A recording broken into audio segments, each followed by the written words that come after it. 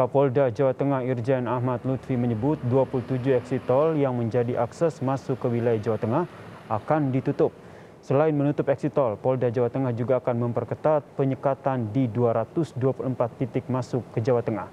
Menurut Kapolda Jawa Tengah, Jawa Tengah dianggap sebagai epicentrum dan pusat pergerakan masyarakat di mana Jawa Tengah dijadikan tujuan mudik dan juga tujuan aktivitas dalam bentuk apa pun. Seluruh pintu tol exit tol wilayah Jawa Tengah akan kita tutup. Karena apa? Karena Jawa Tengah merupakan epicentrum terkait dengan sentral gravity masyarakat yang tujuan mudik maupun apa pun bentuknya. Satu pada saat libur hari Sabtu Minggu. Yang kedua terkait dengan hari libur nasional yang mungkin nanti akan ada. Gubernur Jawa Tengah Ganjar Pranowo pun mendukung penutupan pintu keluar tol Trans Jawa. Ganjar menyatakan meski angka COVID-19 di Jawa Tengah sudah tinggi, masih saja ada warga yang belum menyadari pentingnya mengurangi kegiatan untuk mengurangi risiko penyebaran COVID-19. Ya mengurangi saja karena masih ada yang lewat. Kan untuk transportasinya masih boleh lewat kaitan dengan obat, makanan, logistik kan masih boleh masih pakai syarat-syarat itu juga masih boleh? Uh, iya mas, harus harus pakai syarat itu. Kalau enggak kan intinya sebenarnya kita kurangi. Jadi sebenarnya saya tidak tidak suka sebenarnya saya bicara ini kok menjadi restricted sekali karena faktanya begini. Faktanya ini peningkatannya kok masih tinggi. Faktanya ini variannya kok ya kita sudah tahu delta. Terus kemudian faktanya kok orang masih cuek gitu. Padahal kalau kita tahu, kita ngurus oksigen saja udah kayak begini. Maka tolong masyarakat, tolong betul. Kalau Anda tidak bergerak, insya Allah Anda akan terlindungi. Lalu seperti apa dampak penutupan tol Trans Jawa mulai 16 Juli mendatang? Kami tanyakan langsung kepada jurnalis Kompas TV, Esra Simamora dari Semarang, Jawa Tengah. Selamat petang Esra, bisa dijelaskan akses mana saja yang ditutup dan apa dampaknya terhadap pergerakan warga termasuk yang dari Jawa Tengah ke daerah lain? Ya, Yasir dan juga saudara, selamat petang.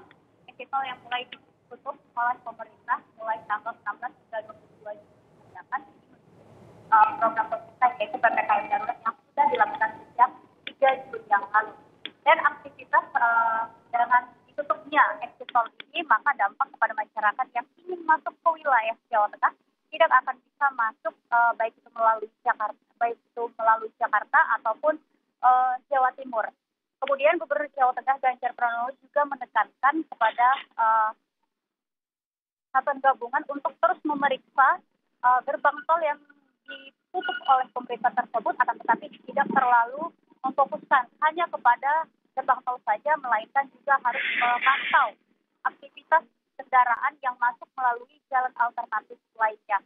Kemudian juga uh, kendaraan-kendaraan yang diperbolehkan masuk ke wilayah Jawa Tengah ini memang uh, ada sebagian kendaraan yang diperbolehkan masuk yaitu kendaraan-kendaraan logistik ataupun kendaraan-kendaraan yang membawa obat-obatan kemudian jika nantinya ada kendaraan yang memang seluruh anggotanya ini sudah di, melakukan vaksinasi minimal satu kali dan juga membawa surat kesehatan uh, negatif COVID-19 atau swab antigen.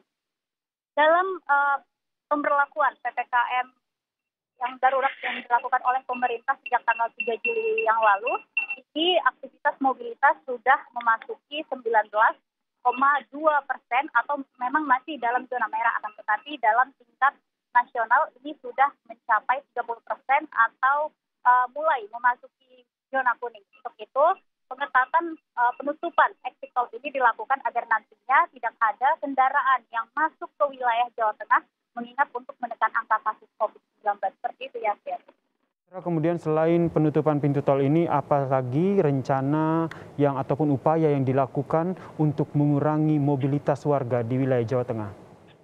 Ya, Yasir dan juga saudara, hingga saat ini sejak tanggal 3 Juli yang lalu sudah dilakukan penutupan ruas jalan di uh, Jawa Tengah sendiri. Untuk kota Semarang ada terdapat 23 ruas jalan yang memang ditutup oleh pemerintah dan ini merupakan jalan yang rentan terjadi kerumunan atau banyak orang di sekitar jalan tersebut. Kemudian juga daripada melakukan penutupan ruas jalan itu juga pemerintah melakukan uh, jalan tol dan juga jalan-jalan uh, alternatif lainnya agar nantinya kendaraan tidak masuk ke wilayah Jakarta. Kemudian juga selain daripada penutupan jalan tersebut, pemerintah juga uh, melakukan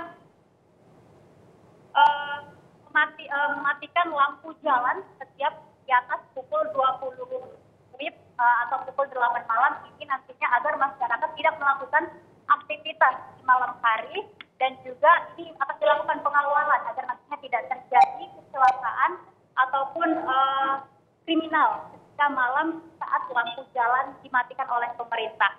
Dan juga kegiatan penyekatan jalan ini akan terus dilakukan atau bisa dilakukan oleh pemerintah ini untuk uh, menurunkan angka kasus COVID-19 kemudian sembari menunggu jika nantinya uh, menunggu zona ke zona kuning masuk ke zona kuning kemudian ke zona hijau maka pemerintah akan terus memperketat protokol kesehatan di wilayah Jawa Tengah dan juga melakukan vaksinasi kepada masyarakat yang memang sampai saat ini belum melakukan vaksinasi COVID-19. Jurnalis Kompas TV Esra Simamora, terima kasih atas informasinya dari Semarang, Jawa Tengah.